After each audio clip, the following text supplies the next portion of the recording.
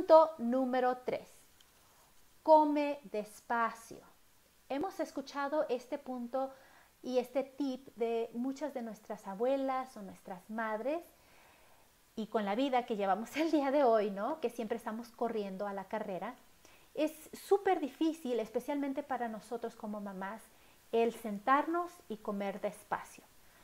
Pero realmente es importante y por eso es que muchas de nosotras como mamás eh, vemos ese incremento de peso.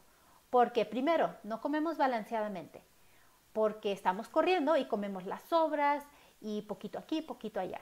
Y en realidad no, no nos sentamos a ver qué estamos comiendo y si estamos comiendo saludablemente.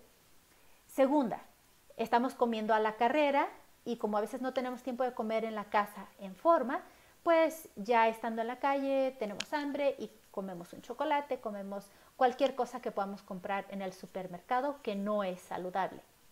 Entonces, esa es la otra, la otra cosa, ¿no?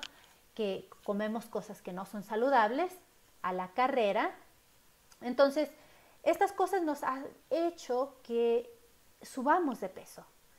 Como mamás, somos las que más subimos de peso por el estrés, por la comida, por no comer en forma, por comer rápido, apresuradas. Entonces, este tercer paso de comer despacio te va a ayudar a tu mente a que esté preparada y lista para comenzar a digerir tus alimentos. Y se ha encontrado que las personas que no están presentes en el momento cuando están comiendo, que están comiendo súper rápido, que ni siquiera se enfocan o ven su plato de comida, están come, come, come rápido y distraídos con los hijos o viendo la televisión o viendo el Facebook, se ha encontrado que estas personas que no están presentes en ese momento, que no prestan atención a lo que están comiendo, comen ya sea en exceso o su sistema digestivo no procesa y no absorbe los nutrientes como debería. Y al no absorber los nutrientes que tu cuerpo necesita, tu cuerpo va a tener antojos el resto del día, porque pues te va a pedir las vitaminas o los minerales que, que no recibió durante la mañana o el resto del día.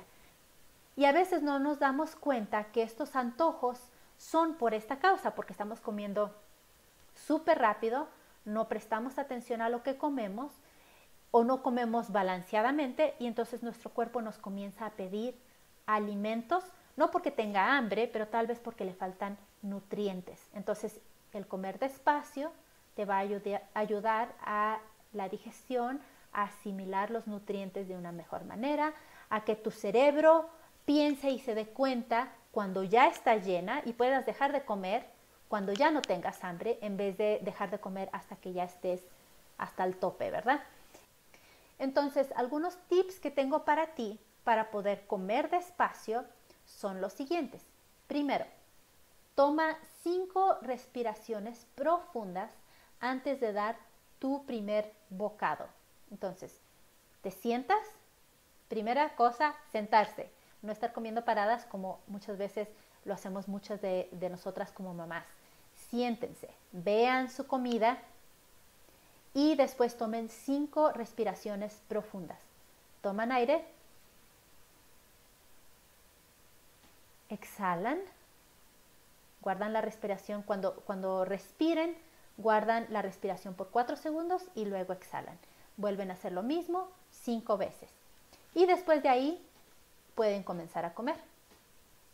Huelan sus alimentos, huelan qué tan rico, ese olor tan rico que tienen. Vean los colores, vean qué tan rico se ve, qué tan sabroso se ve, para que su mente comience a registrar que va a comenzar a comer y comience a soltar las enzimas que necesita para digerir esos alimentos que van a consumir en ese momento. Déjenme ver cuál es el otro tip que tenía. Oh, y el último es masticar tus alimentos más veces de lo que ya estás acostumbrada. Muchas veces ah, estamos acostumbradas en masticar solo unas tres o cinco veces. Bueno, si masticas el doble, ya con eso vas a ver un beneficio mayor, porque al masticar un poquito más, vas a ayudar a producir más enzimas en tu, en tu boca más enzimas en tu estómago, va a llegar de una forma un poco más líquida a tu estómago, va a hacer que la digestión sea un poco más fácil y que los nutrientes se absorban también de una mejor manera. Y como les dije, al tener un cuerpo saludable, eso también ayuda a que tengamos un peso saludable. Siempre hay que enfocarse en qué podemos hacer para estar saludables, porque eso nos va a ayudar a estar más esbeltas, no al revés. Si tratamos de estar esbeltas primero para estar saludables, no funciona. Necesitamos hacerlo al revés. Siempre enfocarnos en la salud primero y automáticamente va a venir el peso saludable, el peso que deberíamos de tener.